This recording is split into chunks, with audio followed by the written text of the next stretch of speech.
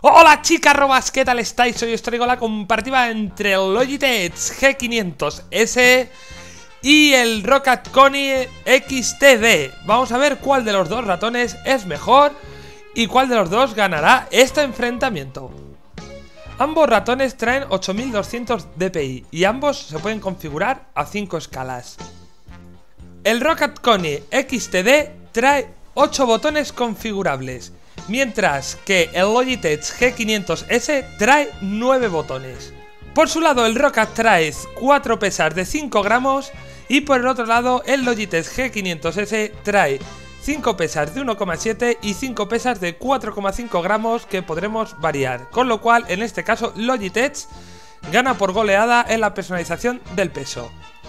Otra diferencia que hay es el precio, teniendo el Rocket Cone a 84 euros y el Logitech G500S a 59,95. Ambos ratones traen programas para configurarlo a nuestro gusto, así que en este aspecto los dos quedan empatados.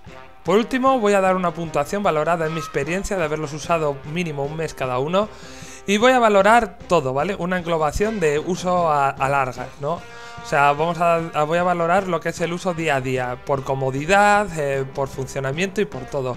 En este caso, el Rocket eh, le voy a dar una puntuación de un 7, ya que es bastante grande y se adapta bien a la mano, pero no llega a ser todo lo cómodo que podría ser.